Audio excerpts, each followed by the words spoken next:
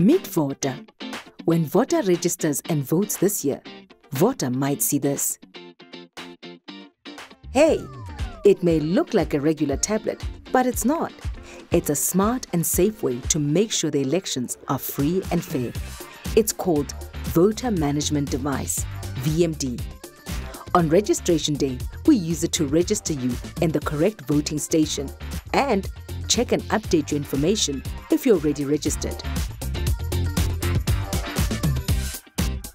On voting day, it checks your registration status, then allows you to enter the voting station if you're registered in that voting district. The device records attendance live, which ensures that no voter can cast their vote twice. So register and vote. It's safe, secure, and easy. It's in your hands. Make it count. Your vote is your voice. Choose your government. For more information, go to www www.elections.org.za or find us on social media. Register to vote today. Go to registertovote.elections.org.za.